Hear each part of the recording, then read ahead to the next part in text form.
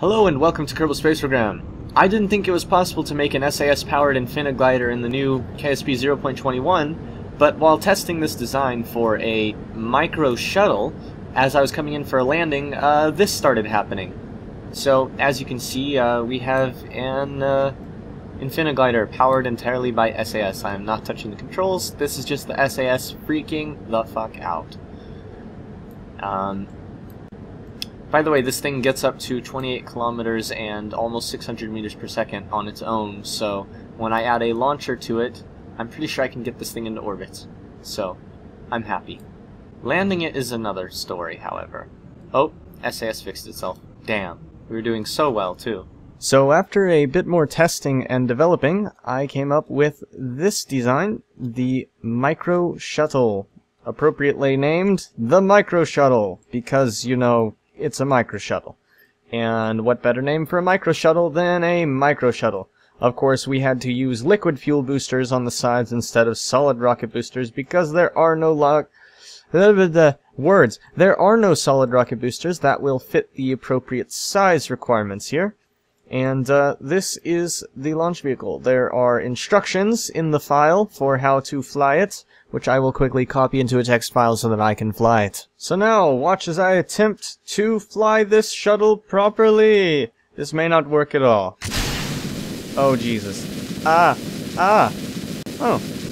That's working uh, quite well, actually. Except for the fact that we're going the wrong way into orbit. Suppose I'll turn that off for now. So we can enjoy the beautiful liftoff. As you can see, this thing has a somewhat uh, low thrust to weight ratio and a somewhat uh, unusual liftoff pattern. Uh, I assure you, it can and will get to orbit, and if I fail to launch this one into orbit correctly, I will launch another one. Or, no wait, no that's not the right word. I already have one in orbit that I will show you if this one fails to get into orbit. So, suppose I should talk to you about what the controls are while I'm flying it, right? Because it's going to be a long flight. So basically, turn on the SAS, and you launch at full throttle. You don't touch the controls. As you might have noticed, I am not touching the controls. So we are going up. Also, as you can see, it drains the fuel out of these uh, fairly quickly. It's actually, they're, they're entirely empty at this point. The thing is, if we were to ditch them now, we wouldn't have the thrust-to-weight ratio to keep going. So, we pretend they're still solid rocket boosters and still fueled through this clever use of fuel lines here. Fuel goes out, fuel goes back in. And so those engines are still being powered by fuel from the main tank, while they, uh, the tanks themselves empty first, making sure that when we do ditch them, we do not ditch any fuel. Of course, we have the two giant SAS wheels at the top, or inline reaction wheels.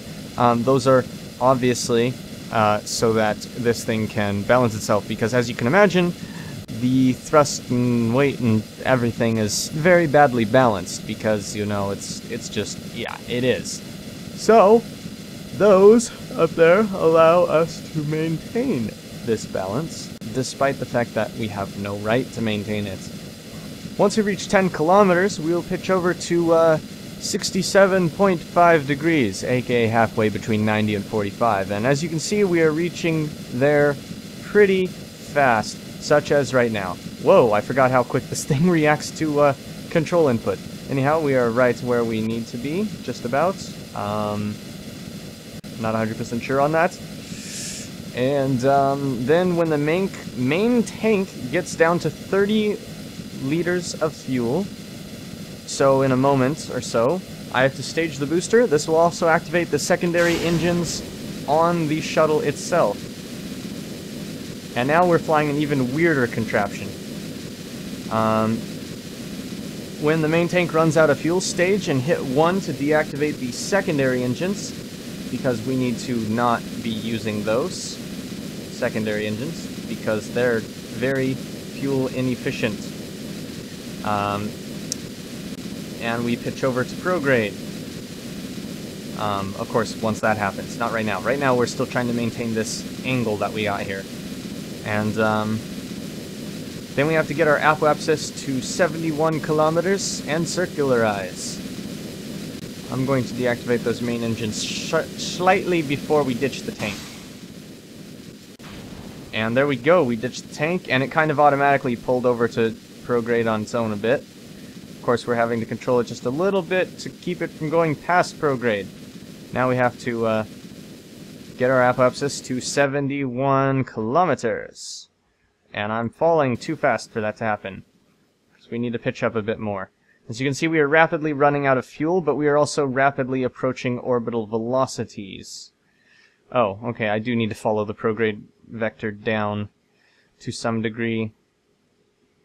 I'm going to throttle down to two-thirds. This isn't part of the instructions that I put here. I'm just kind of trying to feel my way around it. And now I've kind of cut the engines entirely. And we're going to coast and uh, we seem to be losing power. Yay. Due to probeness or something.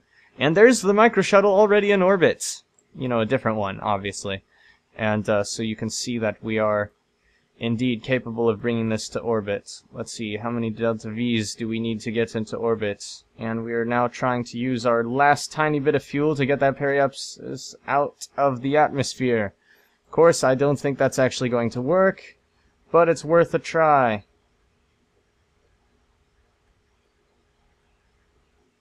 Actually, we might just pull this off.